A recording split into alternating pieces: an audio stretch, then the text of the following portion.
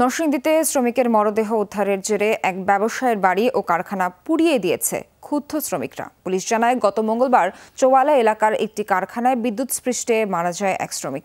পরদিন তার স্মরণে এলাকার সব ফ্যাক্টরি বন্ধের উদ্যোগ নেয় শ্রমিকরা। তবে আলী হোসেনের কারখানার শ্রমিকরা সেই নির্দেশনা মানেননি। এ নিয়ে সংঘর্ষ হয়, পরে বিষয়টি মীমাংসা করে দেয় সেনাবাহিনী।